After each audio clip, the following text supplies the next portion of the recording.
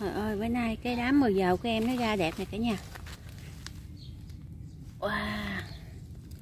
Màu trắng này khó quay phong hoa quá. Mà đẹp lắm cả nhà ơi. Màu hồng.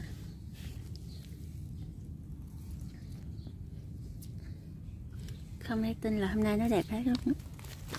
Em đang nhân giống cây dài dài ra luôn. Đẹp cả nhà nhỉ?